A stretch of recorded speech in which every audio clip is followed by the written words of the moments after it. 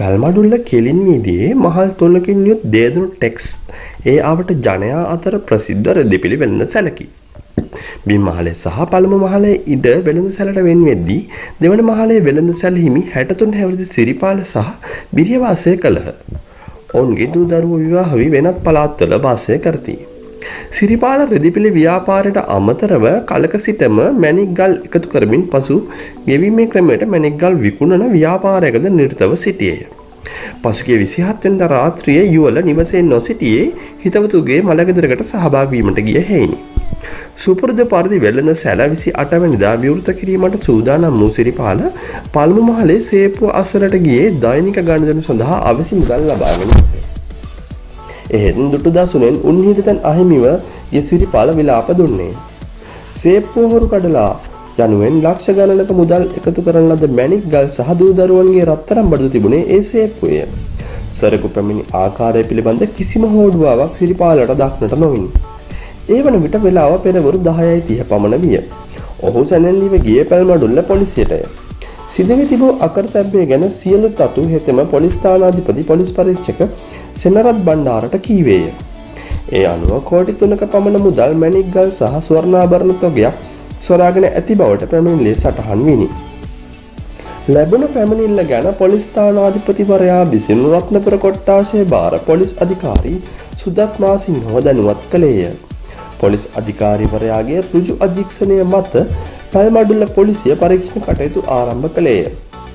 සේපුව පිහිටා තිබුණේ පළමු මහලේ පසුපසට වන්නට තිබෙන කාමරයකය. එම සේපුවය එම සේපුව යතුරෙන් පමණක් නොව ඉලක්කම් වලින්ද නිසි පරිදි ගලපවා කැරකවීමෙන් පමණක් විවෘත කළ වුතු මනා ආරක්ෂිත සේපුවකි. එහෙත් සේපුව තිබූ කාමරයට දොර අගුළු දමා ඇත්තේ සාමාන්‍ය සොයිබයක් පමණක් බව පොලිසියට දන්වන ලද. එසේ නිලධාරීන්ට දක්නට ලැබුණේ ඉලක්කම්ද නිසි පරිදි ගලපා සේප්පුව විවර කොට සිරිපාල කිව් කෝටි ගණනක මැණික් හා ස්වර්ණාභරණ සමග මුදල් රැගෙන සේප්පුවේ යතුරු දෙකද අසල කුඩා මේසලාච්චුවකට දමා ගොස් ඇති බවයි. අසල ටයිල් පොළවේ යම් මඩ පැල්ලමක්ද දක්නට ලැබුණි. එහෙත් සොරෙකු මඩ පැල්ලමක් ඇතිනම් අවට බිත්තිවල හෝ අනිවාර්යෙන්ම මඩ ගෑවිය යුතුය. යන්න පොලිසියේ මතය විය. එසේම CCTV කැමරා තිබුණද කිසිදු කැමරාවක සොරෙකු පැමිණි දසුනක් හසු වී නොතිබුණි. ඇගිලි සලකුණු පරීක්ෂා කළද කිසිම සලකුණක් නොවිනි. පරීක්ෂණ වලින් අනතුරුව සිදුවී ඇති හොරකම ගැන දිගින් දිගටම හිමිකර වූ සිරිපාලගෙන් ප්‍රශ්න කරන්නට විය. ඒ අතරේ රත්නපුර දිසාවේ අතිදක්ෂ පොලිස් නිලසුනකයෙකු වන බැටීද පරීක්ෂණ වලට එක් වූයේ. බැටීට සෙරප්පු සේප්පු යතුර ඉව කරන්නට දුන් විට සුනකයා ගොස් නැවතුනේ සිරිපාල මුදලාලි අසලය. ඒ අනුව සිදුවන්නේ කුමක්ද යන්න පොලිස් නිලධාරීන්ට උබත කෝටිකයක් විය. මේ අතර සිරිපාලද අතමාරුට මැණික් ගල්ගෙන විකුණන බවටත් තොරතුරු හෙළිවිනි. සේප්පුවේ ඉලක්කම්ද තිතරම ගලපා විවෘත කර තිබීමත් එතරම් විශාල ධනස්කන්ධයක් තිබූ කාමරේ දොරට සාමාන්‍ය සොයිබ ලොක් එකක් සවි කර තිබීමත් යන කාරණා මත සොරකම සිරිපාල විසින්ම රචනා කළ පිටපතක් යන්න පොලිසිය සැක කළේය. එසේ සැකේ තමාව දියුණුවේදී සිරිපාල මෙවැනි කතාවක් කීවේය. සර් ඉස්සෙල්ල දවසේ මම සේප්පුවේ ඉලක්කම් ගලපලා අරින්න හැදුවා. පස්සේ යතුරු දැම්මා. ඒත් අරගන්න බැරි වුණා. අන්තිමට යතුර මේසෙලාච්චුවේ දාලා මම වෙන වැඩකට ගියා. පස්සේ ඒක මට අමතක වුණා. පොලිසිය සැකයක් තරම් සිරිපාල දුතට එල්ල වුවත් පොලිස් අධිකාරී සුදත් මාසිංහ පැල්මඩුල පොලිස් නිලධාරීන්ට උපදෙස් දුන්නේ තවත් පැති ඔස්සේ විමර්ශන සිදු කරන ලෙසට. ඒ අතරේ පොලිස් අධිකාරීවරයා රත්නපුර අවට සියලුම මැණික් වෙළඳ දේශිකරුවන් දැනුවත් කළේ සිරිපාල කියූ පරිදි 600කට වැඩි මැණික් ගල් ප්‍රමාණයක් සොරකමක් සිදු වී ඇති බැවින් නැති වූ මැණික් ගල්වල හැඩරුව ගැනත් පවසමිනි. සොරකම වී සතියක් යනට මත්තෙන් පොලිස් අධිකාරීවරයාට රත්නපුර නගරයේ කිසියම් මැණික් වෙන්දේසිකරුවෙන් කිසියම් තොරතුරක් ලැබුණි. ඒ සොරකම් කෙරුණු හැඩරුවට ඇති මැණික් ගල් පිළිබඳව. සිරිපාල මුදලාලිගේ වාසනාවට මෙන්ම එම මැණික් ගල් සිරිපාල මුදලාලි මීට කාලයකට පෙර ලබා තිබූ නේද එම වෙන්දේසිකරුගෙන්මය. ඒ අනු ක්‍රියාත්මක වූ පොලිසිය එම මැණික් ගල එදින වෙන්දේසියට රැගෙන පුද්ගලයා සොයා ගිය ඔහුගෙන් ප්‍රශ්න කළේය. ඔහු එම ගල කෙනෙකුගෙන් මිලදීගෙන තිබුණි. පොලිස් නිලධාරීන් එම පුද්ගලයා සොයා ගියේය. ඔහුට කෙනෙකු එම මැණික් ගල දුන්න එකකි. එම පුද්ගලයා 48 හැවිරිදි මොහොමඩ් හනීෆා අබ්දුල් සත්කාර් නැමැති ගුරුවරයෙකි. ඔහු පිළිබඳ තොරතුරු හෙළිවිය. සත්කාර් බලංගොඩ පදිංචි අයෙකු බවටත් දෙමළ සහ ඉංග්‍රීසි ගුරුවරයෙකු ලෙස බලංගොඩ අවට රජයේ පාසලක සේවය කරන බවටත් අනාවරණය විය. ඒ අනුව බලංගොඩට ගිය පැල්මඩුල්ල පොලිස් නිලධාරීන් සැකකාර ගුරුවරයාගෙන් ප්‍රශ්න කළේය. පුද්ගලයා සම්බන්ධව සොයා බලද්දී සිරිපාල මුදලාලිගෙන් සොරකම් කළ ලද මැණිගල 98ක් ඔහු සන්තකයේ තිබී හමුවිය. පුද්ගලයා අත්අඩංගුවට ගනු ලැබීය. අනතුරුව හෙතේම සිද්ධිය පිළිබඳ පාපොච්චාරණයක් කළේය. ඔහුගේ පාපොච්චාරණය මත ඔහුත් සමග සොරකමට සම්බන්ධ වූ ඔහුගේම පාසලේ ගණිත ගුරුවරයා වූ 48 හැවිරිදි කොටවේර මංකඩ වේලි ඔය අජිත් විජයවීරද අත් අඩංගුවට පත්විය. සිරිපාලගෙන් සොරකම් කරන ලද මුදල් ස්වර්ණාභරණ සහ මැණික් ප්‍රමාණයක්ද ඔහු සන්තකයේද තිබී හමුවිය. කොල්ලයට එක් වූ අනෙක් කණ්ඩායම ගැන තොරතුරු අනාවරණය විය. ඒ අය අතර හමුදාවෙන් පලා ගිය දෙදෙනෙක් වූහ.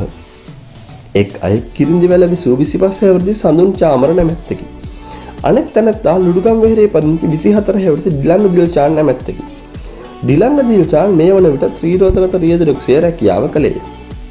අපරාධයට සම්බන්ධ සියලු පුද්ගලයෝ අත් අඩංගුවට ගනු ලැබූහ. එසේම පස්වැනි සැකකරුවා ලෙස ජංගම දුරකථන අලවිසලක සේවය කළ හොරණ ප්‍රදේශයේ අයෙකු වන 28 හැවිරිදි ධනුෂ්ක කුමාර අත් අඩංගුවට පත්විය. පැල්මඩුල්ල පොලිස් නිලධාරීහු දැඩි කැපවීමකින් රාජකාරී කළහ. කොල්ලයට දායක කරගත් යතුරු පැදියක් සහ කොළ පැහැති ත්‍රීරෝධ රථයක් පොලිස් බාරට ගෙනුණා.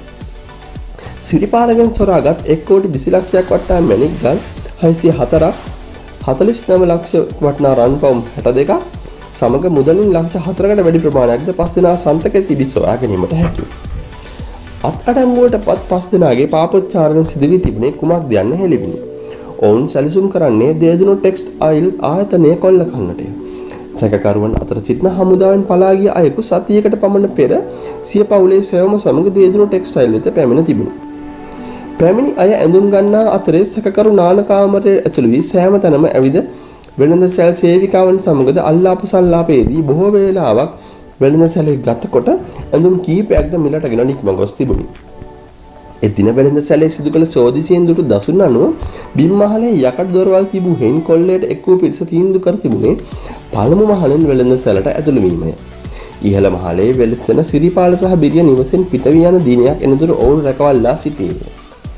පසුගිය 27 වෙනිදා දෙදෙනා රාත්‍රියේ නිවසින් බැහැර ගොස් තිබුණේ හිතවතකුගේ මල ගෙදරකටය. ඒ කොල්ල කරුවන්ට නියම පොටක් නේ. කිසිවෙකු නැති දේදුණු ටෙක්ස්ට් වෙළඳසලට ගොඩනැගිල්ලට කිට්ටුවෙන් හමුදාවෙන් පලා ගිය දෙදෙනා ජෙනරේටර් කාමරයේ වහලයට නැග එකෙක් අනෙකාගේ කරට නැග පළමු මහලට ගියහ. සොරුන් පැමිණ තිබුණේ සේපුව කොල්ල කෑමේ ඉලක්කයෙන් නොවේ. ඒ එදින සිරිපාලකේ අතපසු වීමකින් රුපියල් කෝටි ගණනක් තැන්පත් කර තිබූ සේපුවේ ඉලක්කම්ද ගලපා සේපුව බාගට හැර යතුරුද අසල මේසලාච්චුවකට දමා තිබුණි. කොල්ලයට පැමිණි පිරිසට එය බන්දේසියක දමා දුන් තෑග්ගක් බඳු විය. දෙදෙනෙක් වෙළඳ සැලට ඇතුළු වූහ. අනෙක් තිදෙනා මග රැකවල්ලා ඔත්තු බැලූහ. කොල්ලකරුවෝ කලබලයකින් තොරව සේපුව හැර එහි තිබූ සියලුම වත්කම් රැගෙන යතුර තිබූ තැනම තිබෙන්නට හැර යන්නට ගියහ. පසුගිය 6 වෙනිදා වන විට කොල්ලකරුවන්ගෙන් දේදුණු ටෙක්ස්ටයිල් කොල්ලේ සියලු තතු හෙළි කර ගැනීමට පොලිසිය සමත් වී හමාරය. සිරිපාල පවසන්නේ පොලිසිය ඉක්මනින්ම කොල්ලකරුවන් අත්අඩංගුවට නොගත්තේ නම් මිල මුදල් දේපල කෝටි ගණනින් නැති වුවාට වඩා අවමානයක් සමාජයෙන් තමාට සහ ඥාති හිතවතුරුන්ගෙන් තමාට මිදින්නට සිදුවන බවය. ඒ සොරකම සිරිපාලගේම උගුලක් බවට මුලින් තිබූ සැකය නිසාය. දකුණ සබරගම පළාත් භාර ජ්‍යෙෂ්ඨ නියෝජ්‍ය පොලිස්පති ප්‍රශාන්ත් ප්‍රනාන්දු රත්නපුර දිසා භාර නියෝජ්‍ය පොලිස්පති පද්මසිරි මුණසිංහ රත්නපුර කොට්ටාස් භාර පොලිස් අධිකාරී සුදත් මාසිංහ සහ සහකාර පොලිස් අධිකාරී PAHM නිශ්චංක යන මහත්වරුන්ගේ උපදෙස් මත පැල්මඩුල්ල පොලිස් ස්ථානාධිපති සෙමරත් බණ්ඩාර ඇතුළු පිරිස මෙම පරීක්ෂණය මෙහෙයවූහ. ඔබට පුළුවන් මේ වීඩියෝව ඔබගේ මිතුරන්ට දැනගන්න Facebook ඔස්සේ ඒ වගේම Messenger WhatsApp වැනි මාර්ග ඔස්සේ ෂෙයා කරන්න. ඒ වගේම මේ ගුරුවරුන් දෙදෙනෙක් සම්බන්ධ වෙච්ච මේ කොල්ලේ ගැන ඔබට හිතන දේ පහලින් කමෙන්ට් එකක් විදිහට දාගෙන යන්න.